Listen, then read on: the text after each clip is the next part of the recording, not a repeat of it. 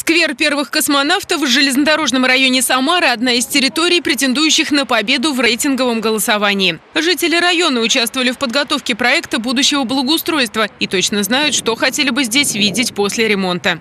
Территория, как мы видим, то есть находится в густонаселенном районе, то есть тут очень много детей, поэтому для зоны отдыха, для данного микрорайона, я считаю, то есть это очень хороший как бы подспорье, будем говорить так, если здесь все отремонтируют, все сделают, зафункционирует фонтан, и будет зона отдыха. Статуя вот эта э, Гагарина, да, чтобы ее тоже реставрировать надо обязательно. Насаждения, чтобы здесь были, это самое, где-то старые деревья можно убрать, ну и вот лавочки поставить. Проголосовать за один из 20 проектов жители могут в специальных пунктах. Здесь им помогут оформить небольшую анкету, чтобы они могли отдать голос за выбранный вариант. Наталья Павловна, ваш голос учтен? Спасибо. Да, надейтесь на победу. Ну, обязательно надо участвовать, надо благоустраивать свой любимый город.